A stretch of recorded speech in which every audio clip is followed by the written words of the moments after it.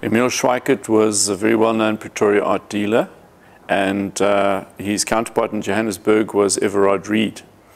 Uh, Emil Schweickerdt was uh, very instrumental in a lot of the early South African artists and his work with the artists is well known. Emil Schweickerdt was not only interested in the art, but he was also interested in the artists from the, the perspective that he went to the trouble of taking them on painting trips, as well as when he went on holiday. Some of them accompanied him as well, so that he was able to give them the exposure of being able to paint in the outside.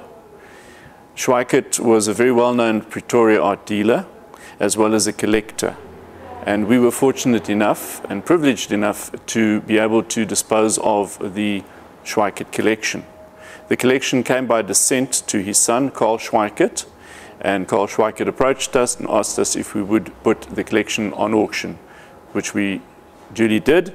And I can say quite categorically that it was a fantastic sale, and we sold 95% of the works on auction, which nowadays in the current market is an achievement.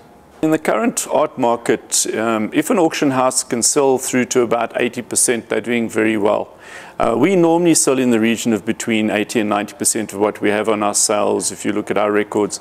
And this sale was exceptional because there was a sell-through rate of 95%, which in these times is quite unusual.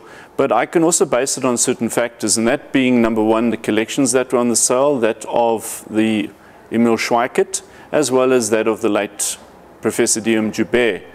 Those were well-known collections by a lot of the art collectors, and in that sense, the quality of the works was superior to what's normally put onto an auction sale.